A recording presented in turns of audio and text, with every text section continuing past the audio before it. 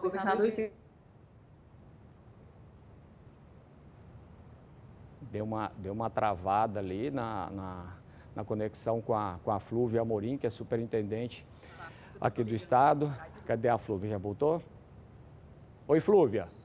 Oi. Pois então, não, pode continuar. O governador estão em São Paulo, foram nessa madrugada para São Paulo, justamente para é, garantir a vinda dessa vacina.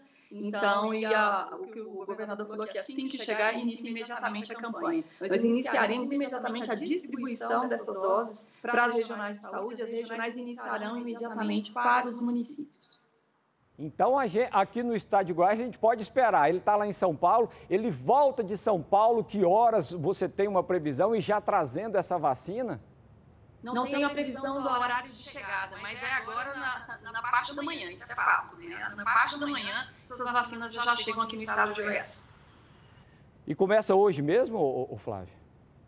Nós, nós estamos aguardando né, né para ver como é o transporte, que nós temos que receber a vacina, armazenar, é, e o governador falou que imediatamente, só não posso garantir se é hoje, se é amanhã, mas chegando a vacina, a gente já começa toda a organização para poder distribuir e já iniciar essa vacinação quanto antes. Em Flúvio, o prefeito de, de, de Anápolis anunciou que deve começar a vacinação por lá. Você tem essa informação? Vai ser Anápolis mesmo? Até porque Anápolis recebeu lá quando vieram os primeiros brasileiros que, estavam lá em Wuhan, e aí por isso Anápolis seria o, primeiro local a ser vacinado aqui em Goiás?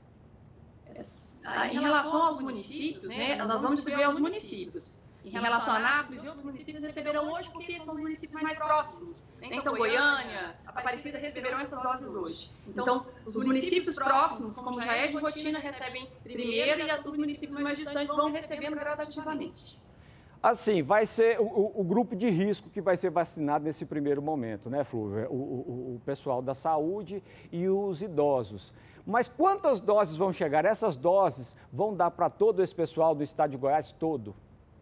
Não, não as doses, a informação que nós temos, eu estou esperando chegar essas doses da gente confirmar, mas a informação preliminar que nós tivemos é que as doses não serão suficientes. Essa, essa é a primeira remessa, deixar bem claro isso. Não será suficiente para vacinar todos os trabalhadores da saúde. Então, nós vamos ter que priorizar dentro do grupo de trabalhadores, um grupo menor, muito provavelmente trabalhadores que estão diretamente na linha de frente de tratamento e manejo de pacientes com Covid.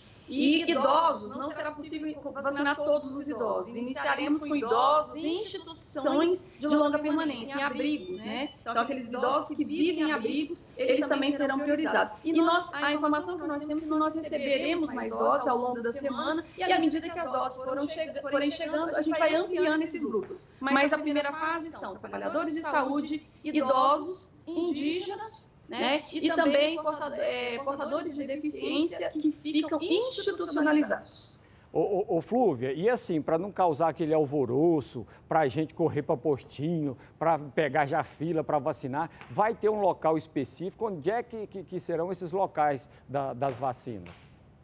É, nós teremos algumas vacinas que serão feitas é, em loco, por exemplo, de asilos, né, instituições de longa permanência de idosos, não é possível retirar esses idosos. Então, os municípios já estão se organizando para fazer vacina nesses locais. Para os trabalhadores de saúde, o município tem, é, cada município determinou uma quantidade de salas. Nós estaremos divulgando agora de manhã quais salas. E muito claro, deixar muito claro, vacinaremos apenas os grupos prioritários selecionados para essa primeira etapa dessa primeira fase. Como eu falei, recebemos menos doses, estamos restringindo nesse momento e à medida que as doses foram chegando, a gente vai divulgando e ampliando os grupos né, de trabalhadores e também de idosos.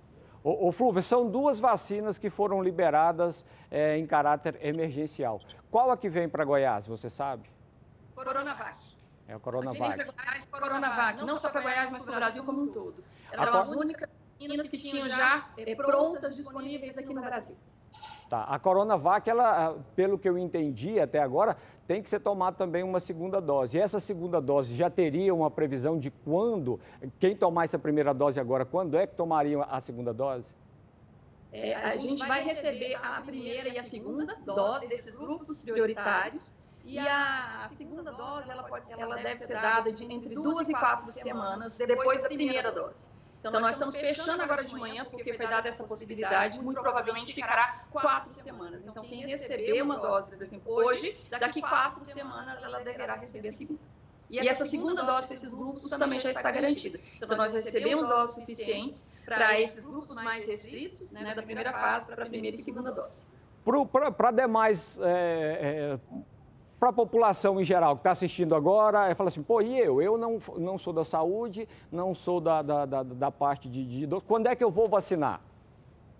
Olha, vai depender da chegada de mais doses. Então, à medida, como eu falei, à medida que o Brasil for adquirindo essas doses, vão, essas doses vão sendo disponibilizadas. O que a gente tem garantia nessa primeira etapa é de 6 milhões de doses. Né? Sendo que aproximadamente 2 milhões ficaram em São Paulo e os outros 4 milhões de doses foram distribuídos para o Brasil como um todo. Então, nós receberemos aqui aproximadamente 182 mil doses para duas doses, ou seja, aproximadamente 182 mil pessoas, entre idosos institucionalizados né, em abrigos e profissionais de saúde de linha de frente e também indígenas, para receberão primeira e segunda dose. Flúvio, para a gente terminar aqui, como é que estão as UTIs aqui no estado de Goiás, em Goiânia, em relação à Covid-19, de lotação? Nós estamos com cerca de 65% de taxa de ocupação de leito.